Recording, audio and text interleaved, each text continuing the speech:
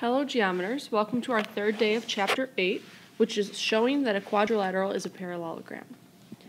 So in the past, in section 2, we used the properties of parallelograms to find missing side and angle measures. Now we're going to determine if a parallelogram is a figure, so that's a yes or no, and we're also going to prove that a parallelogram is a figure.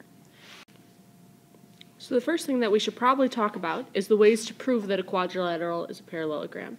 This is also going to help us determine if a figure is a parallelogram. The first few are properties that we already know. Well, a parallelogram just means that the opposite sides are parallel. So the first way to prove is that both pairs of opposite sides are parallel.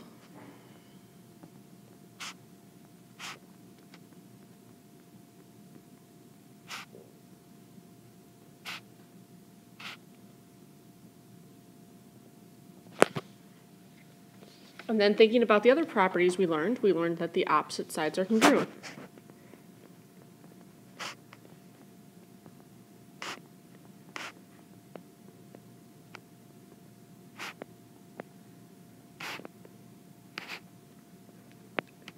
So all this is telling us is if we have a quadrilateral and the opposite sides are congruent, that quadrilateral has to be a parallelogram.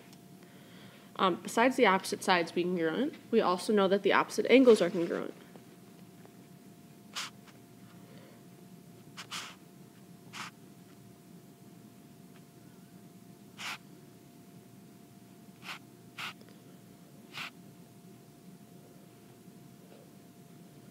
And there's two more properties that we should know.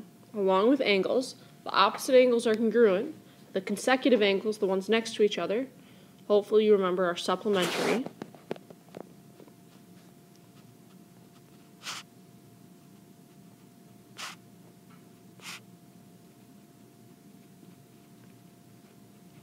So all of these are pretty straightforward. Five is a little bit trickier because it's not something we talked a whole lot about but there's an important property of the diagonals of a parallelogram. That important property is that the diagonals bisect each other.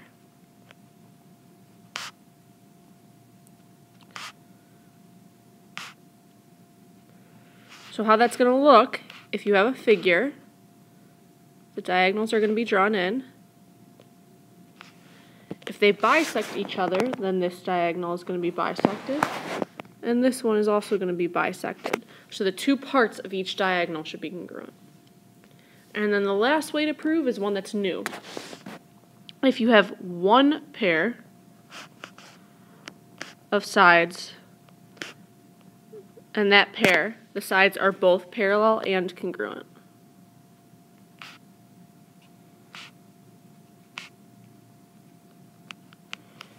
So again, if we draw ourselves a figure, one pair of sides that are parallel, that same pair of sides that are congruent. This would be a parallelogram. As soon as one of these ways is true, all the rest have to be true also, because these are properties of a parallelogram. So the first way that we are going to see these, these properties applied is it's going to say find the values of x that will make the figures parallelograms. So in figure number one, x can be almost anything that it wants. It can be 5, it could be 10, um, but we want the specific value of x that will make this figure a parallelogram. As you notice, the two x expressions are both on the diagonal. So this is going to correspond to property 5. The diagonals bisect each other. We notice our first diagonal is already bisected because of the tick marks. We need our second diagonal to be bisected as well. It's going to be bisected if the two parts are congruent. So I'm going to do 3x minus 11 equals x plus 5.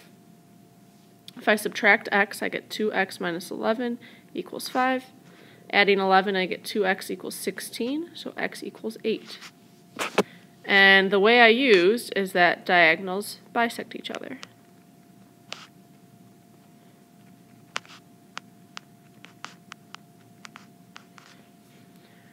Right now, I would like you to pause the video and try example 2 on your own, please.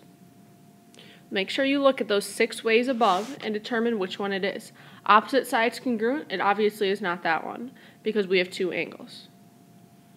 So pause the video, try it on your own, come back when you're finished, please.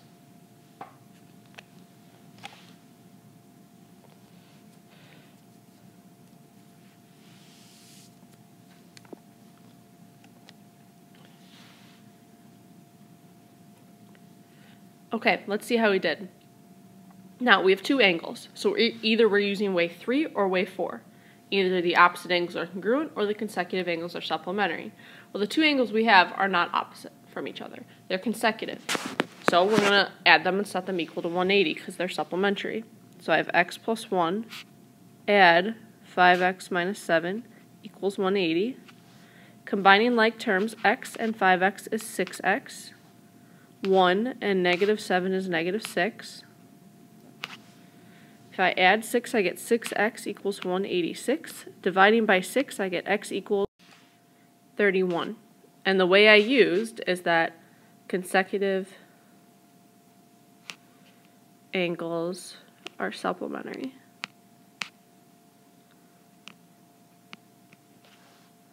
So hopefully you got that one right. If not, hopefully your setup was right, you made a slight mistake, or even if your setup was right, hopefully you now see how to approach the problem. Um, regardless of whether or not you got it right, we have one more example to do on the next page of this same type before moving on. Okay, so example three, we have three different expressions with x. And we need to find x, so you're going to need to set up an equation. I would like you to try this one on your own. Good luck.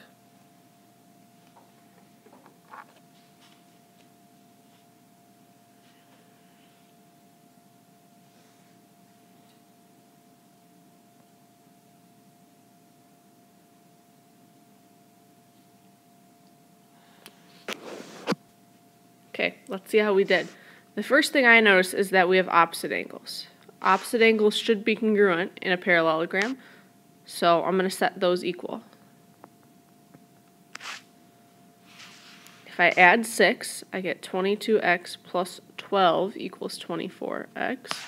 Subtracting 22x, I get 12 equals 2x, and x equals 6. So that was using that opposite uh, angles are congruent. That's not the only way to approach the problem. We also know something about the consecutive angles. Well, we know the consecutive angles are supplementary. So we also could have done 22x plus 6 plus 7x equals 180. This gives me 29x equals 174. Dividing by 29, I get x equals 6. And that was using the fact that consecutive angles are supplementary.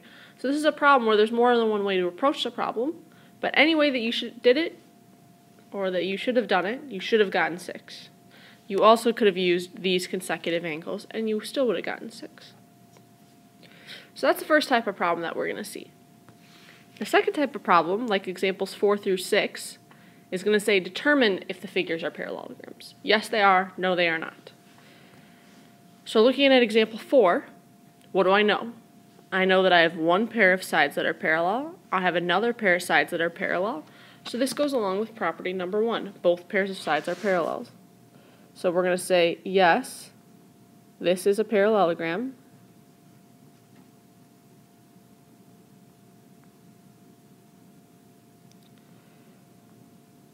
Because both pairs of opposite sides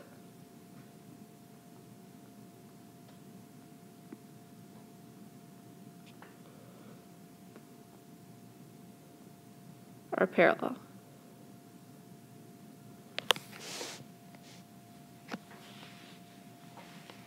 Okay, let's look at example 5. Example 5, we have one pair of sides congruent, and we have one diagonal that is bisected. This would be a parallelogram if both pairs of sides were congruent, but we don't know that. Or if both diagonals were, were bisected, but we also don't know that either. So we say, no, this is not a parallelogram.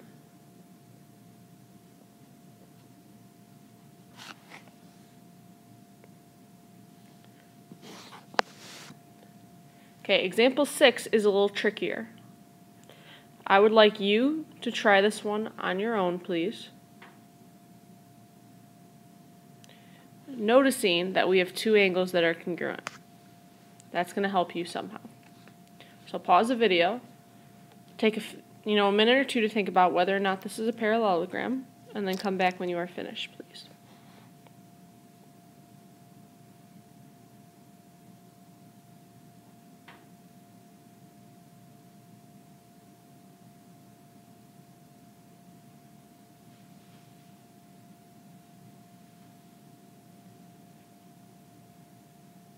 Okay, let's see how we did. What you're going to notice about those angles I highlighted is that they form a Z. So we have a Z with congruent angles in the Z. That means these lines are parallel. So right now, I have a pair of sides that are parallel, and I have a pair of sides that are congruent. This looks kind of similar to uh, way to prove number six. That says one pair of sides, opposite sides is parallel and congruent. But here, it's not the same pair of sides. So we would say, no, not a parallelogram.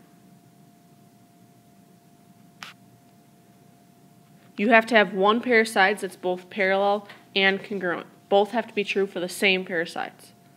If it was true for the same pair of sides, then it would be a parallelogram. Two different sides, not a parallelogram. So that one was tricky, like I said. Hopefully it went well. If not, that's okay. Um, hopefully we learned something. We have a few more examples to go, so if you could flip the page, please. Okay, so number seven says show that ABCD is a parallelogram, and it gives um, four coordinates. The first thing that we're going to do is we're going to graph those coordinates. So, um, please do that right now.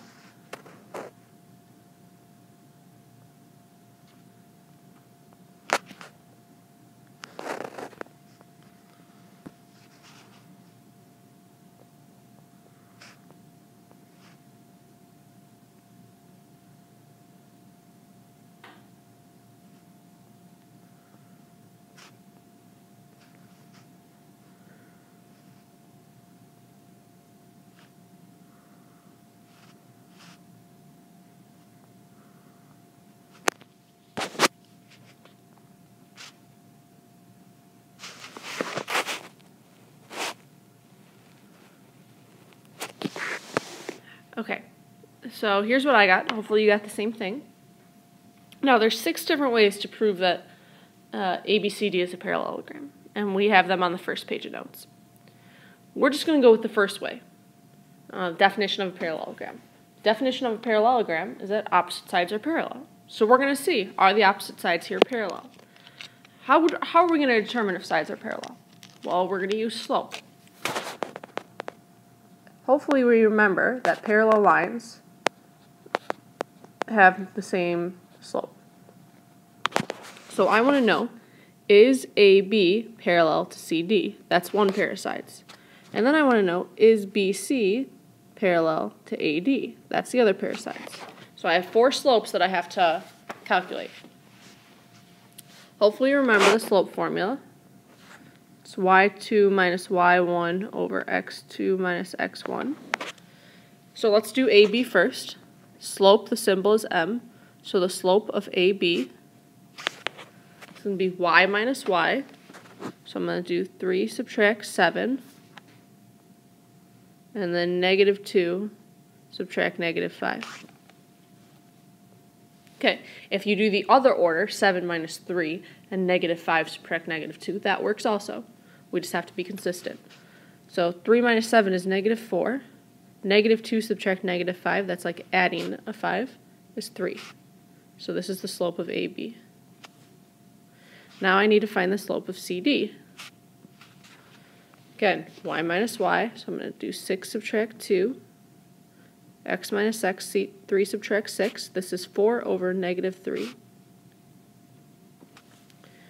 Okay, our two slopes look the same. Um, the negatives, one's in the numerator, one's in the denominator. That's okay. These are still the same number. So we're going to say that AB is parallel to CD. Okay, so that was one pair of sides, and we could mark that. AB is parallel to CD. I would like you to do the other pair of sides. Find the slopes of BC and AD, and determine if ABCD is a parallelogram. So pause the video and come back when you are finished, please.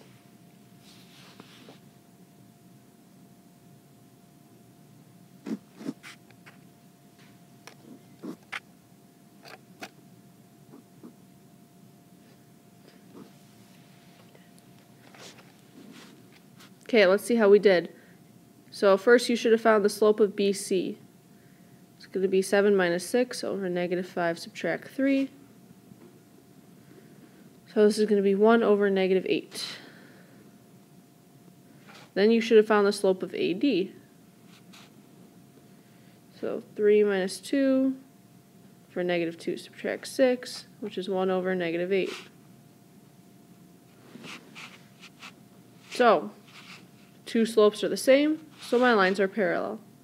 B, I'm sorry, BC is parallel to AD.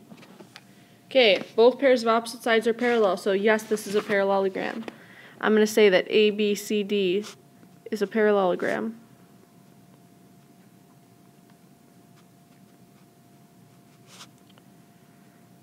Because both pairs of opposite sides are parallel. It's extremely important that you write me an answer telling me what your work actually means. So I know that you were checking for parallel sides. So hopefully that one went well. If you didn't write a sentence, that's okay. Um, now you know that you need to. We have one more example. It says, is the figure a parallelogram? Explain. Um, and it also says be careful. So this is the problem that I'm going to be checking when you come to class tomorrow. If you have nothing written, you will not get credit for the notes. So please put forth an effort. Look at the first uh, six ways to show that a parallelogram, that a figure is a parallelogram, and see if any of those ways apply.